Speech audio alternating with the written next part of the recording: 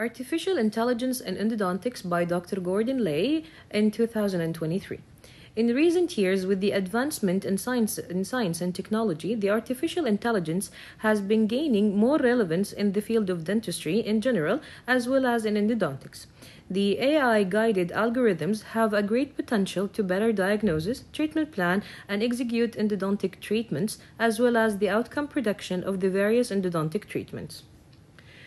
The artificial intelligence in endodontic diagnosis, it helps in detection of periapical lesions. Studies have shown that in order for the periapical radiolucency to be visualized on a two-dimensional radiograph, there has to be an average of 7.1% of mineral bone loss or at least 12.5% of cortical bone loss. The CBCT has shown to be more accurate in the diagnosis of the periapical lesion compared to these radiographs.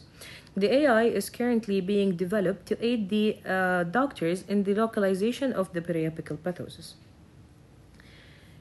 This deep learning AI system has found to be 93% accurate in detecting lesions with a specificity of 88%.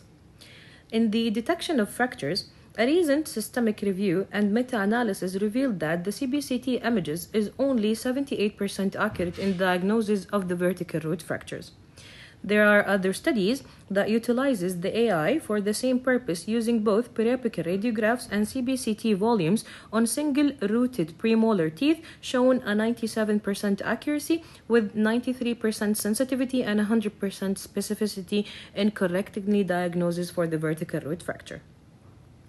The part with the treatment planning and execution, uh, determining of the root canal morphology, the AI has been used to evaluate the root canal morphology and number of the canals. Some studies reported an 87% accuracy in the ability to diagnose single or multiple distal roots on a mandibular first molars. In determination of the working length, uh, they used a cadaver model to mimic the clinical situation and they found that the AI was 100% accurate in determining the root length when compared to the actual measurement following tooth extraction. Also, there are some future trends which uh, photorealistic 3D reconstruction. This novel reconstruction method is referred to as cinematic rendering uh, which can create these photorealistic 3D image based on a CBCT dataset by using a high dynamic range rendering light maps to create a natural lighting environment, which can potentially improve the diagnostic accuracy by better displaying for the anatomical details.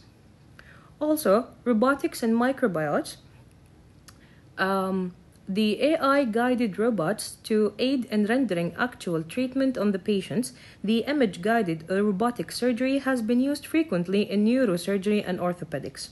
Currently, in the field of implant dentistry, there has been development of robots to aid in implant placement. It would be expected that a similar system can be developed to aid in endodontic microsurgery or even with the routine root canal treatment.